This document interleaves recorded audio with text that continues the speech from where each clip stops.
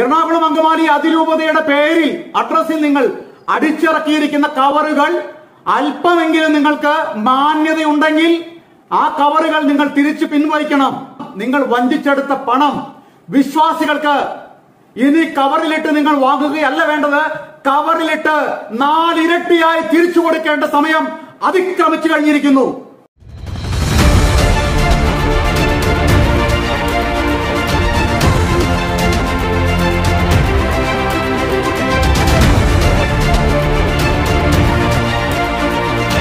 വിമത വൈദികരുടെ അടുത്ത സാമ്പത്തിക തട്ടിപ്പ് പദ്ധതി ഇന്നലെ പ്രഖ്യാപിച്ചു. പദ്ധതിയുടെ പേര് ജീവകാരുണ്യ നിധി. ജീവകാരുണ്യ നിധി എന്ന പേരിൽ വെള്ള കവറുകൾ അതിരൂപതയുടെ അഡ്രസ് വെച്ച് ഇന്നലെ മുതൽ ഡിസ്ട്രിബ്യൂഷൻ ആരംഭിച്ചു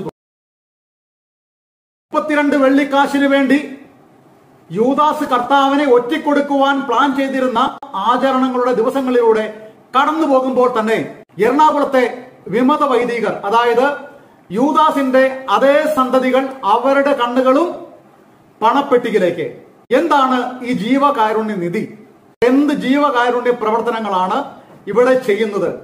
ഇതുവരെ നിങ്ങൾ ചെയ്ത ജീവകാരുണ്യ പ്രവർത്തനങ്ങൾ ഒന്ന് പറഞ്ഞു തരൂ.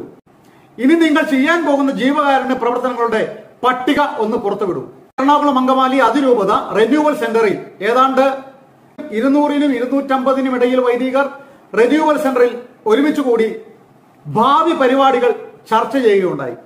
കഷ്ടിയൊക്കെ ഞാൻ ആദ്യമായിട്ട് കണിയെ കണ്ടിട്ട് കുറെ നാളായി. അപ്പൊ ഞാൻ ചോദിച്ചു അച്ഛൻ എനിക്ക് പരിചയമുണ്ടല്ലോ എടോ ഞാൻ ഉറങ്ങാട്ടില്ല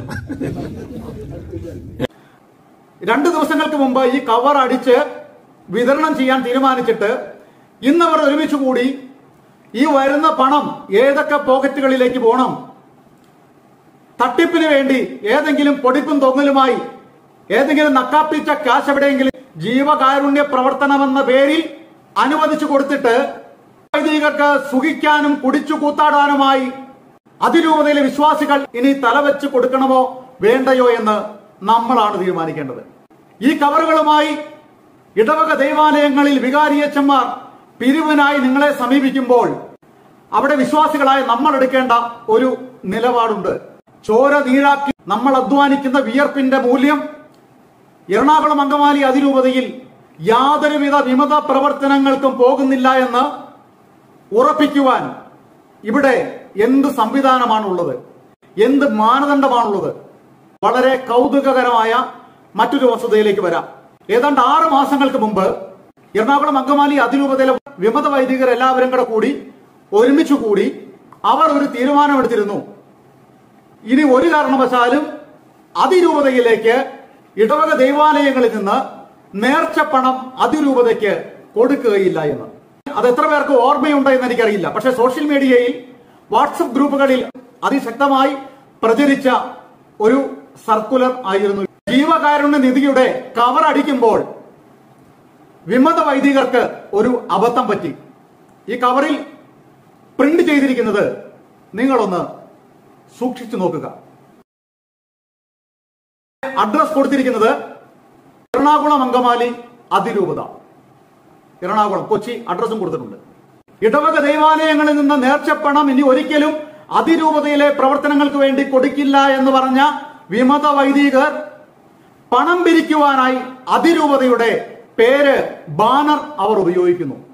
പണം കൊയ്യുവാൻ അതിരൂപതയുടെ പേര് ഇവർക്ക് ആവശ്യമാണ്. അതിരൂപതയെ സമൂഹത്തിന്റെ മുമ്പിൽ വിശ്വാസികളുടെ മുമ്പിൽ ചെളിവാരി തേക്കുവാനും സഭയെ മാനഭംഗപ്പെടുത്തി യൂദാസിന്റെ മുപ്പത്തിരണ്ട് വെള്ളിക്കാശുകൾക്ക് വേണ്ടി അതിരൂപതയുടെ പേരുപയോഗിക്കാനും യാതൊരു ഉളുപ്പുമില്ല. പണ്ട് കാരണവുമാ പറയും പൂച്ചയെ എങ്ങനെ എറിഞ്ഞാലും നാല് കാലിലെ നിലത്ത് വീഴൂ എന്ന് പറഞ്ഞതുപോലെ ഈ വിമതരായ വൈദികരെ ഇവരെങ്ങനെയൊക്കെ കറങ്ങി തിരിഞ്ഞു വന്നാലും ഇവർ മുക്കാ പണത്തിന്റെ മോളിൽ ഇവർ കറങ്ങി തിരിഞ്ഞു വീഴും. ഏത് അൾത്താരകളിലും ഏത് പ്രസംഗ വേദികളിലും ഇവർക്ക് ധനാഗമ മാർഗങ്ങളെ കുറിച്ച് മാത്രമേ ഇവർക്ക് പ്രസംഗിക്കാനുള്ളൂ. സുവിശേഷത്തിലെ ദൈവവചനങ്ങൾ വ്യാഖ്യാനിക്കാൻ ഇന്ന് വൈദികർക്ക് അറിയാത്ത അവസ്ഥയിലേക്ക് ഇവർ തരം താണു പോയിരിക്കുന്നു. വചനങ്ങൾക്ക് പകരം പള്ളികളിലെ ധനാഗമ മാർഗ പദ്ധതികൾ മാത്രമേ ഇവരുടെ നാവിൻ തുമ്പിൽ വരാറുള്ളൂ. അത് സൈക്കോളജിക്കലായിട്ട് വളരെ തന്ത്രപരമായി വിശ്വാസികളിലേക്ക് വളരെ കൃത്യമായി അവതരിപ്പിക്കാനും ഇത്തരത്തിലുള്ള വിമത വൈദികർക്ക് ട്രെയിനിങ് കിട്ടിയിട്ടുണ്ട്. ഇതിന് പ്രത്യേകിച്ച് ട്രെയിനിങ് ഒന്നും കിട്ടാൻ ആവശ്യമില്ല. യൂദാസിനെ ധ്യാനിച്ച് മുന്നോട്ട് പോയ യൂദാസിന്റെ പ്രേതം വന്ന് ആവസിച്ച് ഇതൊക്കെ താനേ കിട്ടിക്കോളും. അതാണ് ഇവരിപ്പോൾ ചെയ്യുന്ന മാന്യമായ പണി. ഞാൻ എറണാകുളം അങ്കമാലി അതിരൂപതയിലെ വിമതരായ വൈദികരോട് ഞാൻ പറയുന്നു എറണാകുളം അങ്കമാലി അതിരൂപതയുടെ പേരിൽ അഡ്രസ്സിൽ നിങ്ങൾ അടിച്ചിറക്കിയിരിക്കുന്ന കവറുകൾ അല്പമെങ്കിലും നിങ്ങൾക്ക് മാന്യതയുണ്ടെങ്കിൽ ആ കവറുകൾ നിങ്ങൾ തിരിച്ചു പിൻവലിക്കണം. അതിരൂപതയ്ക്ക് ഒരു പൈസ പോലും കൊടുക്കില്ല എന്ന് പറഞ്ഞ് നിങ്ങൾ അതിരൂപതയുടെ പേരിൽ അഞ്ചു പൈസ പോലും പിരിക്കുവാനുള്ള യോഗ്യത നിങ്ങൾക്കില്ല. എന്നിട്ട് വിമത വൈദികരുടെ ഭാവി ധനാഗമ മാർഗ പദ്ധതിക്ക് ഓമന പേരിട്ടിരിക്കുന്നത് ജീവകാരുണ്യ നിധി. ഇന്ന് എല്ലാ തട്ടിപ്പും അരങ്ങേറുന്നത് ജീവകാരുണ്യത്തിന്റെ പേരിലാണ്. വേറൊരു പേരും പറഞ്ഞ് അൾത്താരയിൽ നിന്ന് തട്ടിപ്പ് നടത്താൻ മാർഗമില്ലല്ലോ. ആളുകളെ എളുപ്പത്തിൽ പറ്റിക്കാവുന്ന ഏറ്റവും നല്ല വഴി ജീവകാരുണ്യം തന്നെയാണ്. എന്തായാലും ദിവ്യകാരുണ്യം എന്ന് നിങ്ങൾ പറയാത്ത നന്നായി. വലിയ താമസമില്ലാതെ ഇനി ജീവകാരുണ്യം ദിവ്യകാരുണ്യം എന്ന പേരിൽ അടുത്ത തട്ടിപ്പുമായിട്ട് നിങ്ങൾ ഇറങ്ങും. ഇനി നിങ്ങൾ ചെയ്തിട്ടുള്ള ജീവകാരുണ്യങ്ങളുടെ പേര് ഞാൻ പുറത്തുവിടാം. എറണാകുളം അങ്കമാലി അതിരൂപത ആസ്ഥാനത്ത് അരങ്ങേറിയ അനീതി യജ്ഞത്തിന് പുട്ടും കടലയും കള്ളും കുടിക്കാൻ നേർച്ചപ്പണം ഒഴുകി വന്നത് ഏതാണ്ട് മുന്നൂറ്റി അറുപതോളം പള്ളികളിൽ നിന്നാണ്.